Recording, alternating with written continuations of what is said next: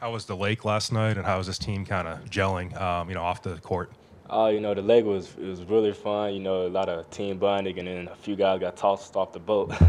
so yeah, you know, um, feel like off the court, you know, everybody's gelling together, and it's fun to be around this group. Just what kind of was your offseason like and the ultimate decision to come back uh, for this year at Alabama? Uh, you know, um, we got to the Sweet 16. I feel like, uh, you know, we, we can get past that hump. You know, I want to be a part of that.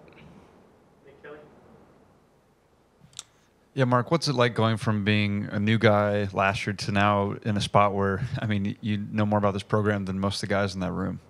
Um, just being that leader, you know, uh, being a part of a championship team last year and being one of the only few returners, you know, just stepping that role and leading the guys and just letting them know what we're going to see every day, day in and out. Um, talk some a little bit about the team retreat that y'all went on a couple weeks ago. Let's talk about what y'all did there.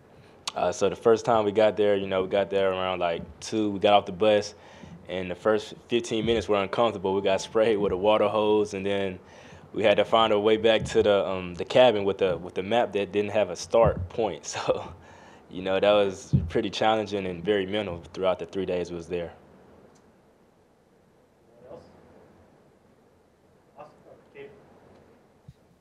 Last year, obviously, y'all had a pretty young starting five, but uh, you're returning, and then Coach Oats brought in a bunch of grad transfers. Just kind of how does that help out having some experienced guys uh, that have brought in alongside you? Uh, it's it's good to have a experience, you know, because um, last year in the run, you know, we played against a, a, older group of guys that been in college. They they know it around, and I feel like this year with the, the young talent and a good group of mix of the older talent, you know, that'll be really good for our team going down the stretch in March.